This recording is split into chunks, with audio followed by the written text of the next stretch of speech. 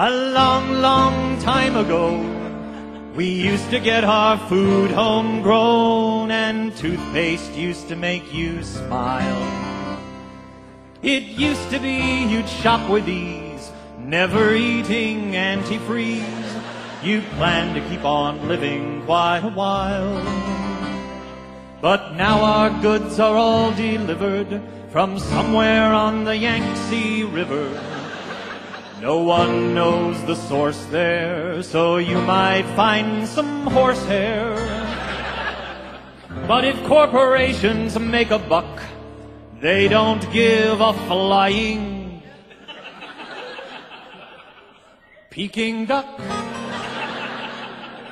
And with this system we get stuck today. It makes you sigh. Now when you buy, buy an American pie, your grandma didn't bake it, it was made in Shanghai, where they engineered the apples to be juicy, not dry, but the crust is made of cardboard and lye. Don't feed it to your dog, he might die. Now did you eat a tasty cake did it make your stomach ache? I could have said I told you so.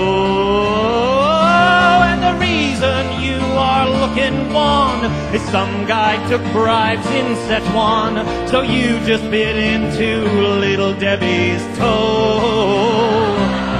And now the toys you bought from Fisher Price have toxins deemed unsafe for mice.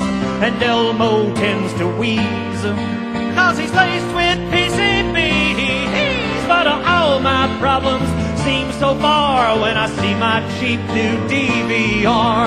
I'll even brush my teeth with tar and you will see uh, that I'll buy, buy from some young guy. I drive a Chevy and it's heavy, but the price is too high. Soon 20 bucks will buy a car from Shanghai. And honey, that'll be the day we all die.